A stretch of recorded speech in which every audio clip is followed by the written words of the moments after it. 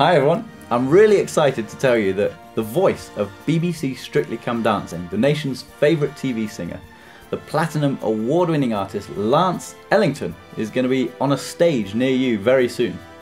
I'm Ed Barker and I'm a saxophonist, and I've been all over the world over the last few years playing the saxophone for people.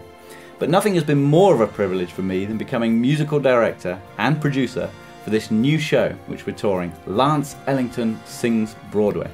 Now, Lance, of course, is the guy, as I said, that you've seen live on Strictly Come Dancing every Saturday night. He sings to millions around the world.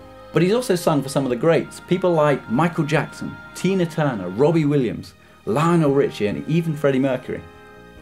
And on the night, we've got this fabulous band with people like Mark Jaimes from Simply Red, he plays guitar.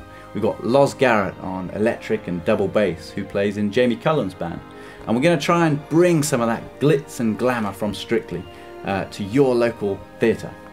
The show's full of all your favourite songs from Broadway musicals. Songs like Luck Be a Lady from Guys and Dolls, The Lady is a Tramp.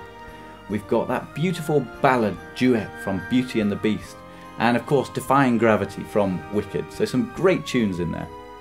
So do come along, call this number or log on online and get your tickets. The Strictly season's kicking off, and I'm sure on the night Lance will be sharing tales from behind the scenes and what goes on on the show. We've got a special prize draw where two of you will get the chance to visit Strictly with Lance, and we've got a very special guest joining us on the night as well. So we're going to have a ball. We'd love you to be there. Please come and join us, and we'll see you then. Bye bye.